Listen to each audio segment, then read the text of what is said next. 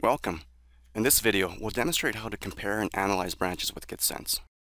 When comparing branches with GitHub, GitLab, and VSTS, you can easily tell how many commits a branch is ahead and behind. Knowing this information is interesting, but if you're looking for a bit or a lot more insight, GitSense can help, and we'll show you how. To see what a difference GitSense can make, we'll use it to compare and analyze the 1.8, 1.9, and master branch in the Go Git repository, so let's get started. Since we are currently in VSTS, we can access GitSense in one of two ways. We can click on the Insights link, or we can select GitSense from the project navigation bar.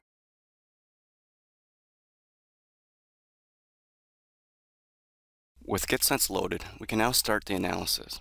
To begin, we'll first select all three branches. And then click the Analyze Branches button to continue. With the GitSense commits chart, we can see that within the last three months, there has been little activity on the 1.8 and 1.9 branches. And if we switch to the one-year chart, we can see that 1.8 started to deviate from master at around December 2016, and 1.9 at around mid-July. Now let's scroll down to see what else we can learn. On the left-hand side, we can see the branch commits. On the right-hand side, we can see the commits count for each branch, a summary of the commits by month, and the commits author. And if we continue to scroll down and focus on the commit summary, we can see that on December 2016, 1.8 started to deviate from master. And we know this because there were 17 commits not on the 1.8 branch. Now let's scroll back up to learn more about 1.9. For 1.9, we can see that it started to deviate from master on July. And if we click on that month, we can view July in greater detail.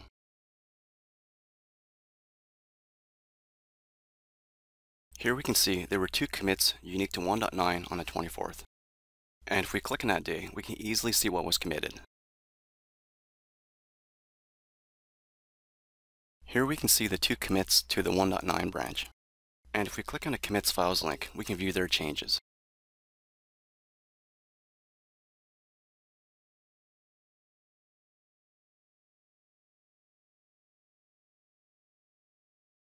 So that was a simple example that demonstrates how you can use GitSense to compare and analyze branches. Now let's look at something that is a bit more advanced. For this more advanced example, we'll use GitSense to help us compare and analyze C file changes across 1.8, 1.9, and the master branch. And to do this, we'll use a search query path colon star.c and path colon star.h to only match commits with changes to files with a .c and .h extension. With this search, we can see the last C file changes to 1.8 was in February. And the last C file changes to 1.9 was in June. To see what changed at the code level, we'll have to execute a branch diff, but before we can do that, we'll first have to find the head commits for each branch. And we can do this by scrolling up and clicking on the branch head search link. With this search, we can see the latest commits for each branch, and we can select them for diffing by clicking on the ellipses icon. For this diff, we want to see what changed from 1.9 to master, so we'll select 1.9 as the from commit, and master as a to commit. And because we want to know exactly what changed, we'll execute a commit to commit diff by clicking on the first diff button. If we were to click on the second diff button, which contains three dots between the commits, GitSense will execute a merge-base diff, which is not what we want.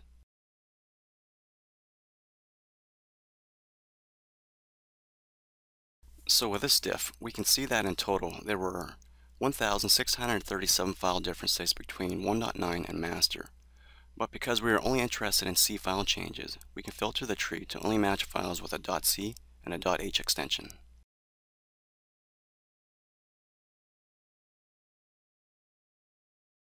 And with this filtered C tree, we can see that there are 14 file differences between 1.9 and master. And if we click on the files, we can view their diffs.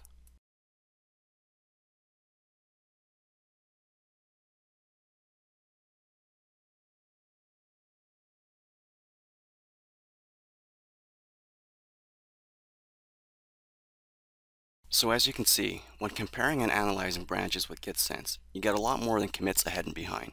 You get valuable insight that can help you to work smarter and faster. And if you haven't already done so, you can download GitSense from the GitSense website and play with GitSense with the public GitSense server.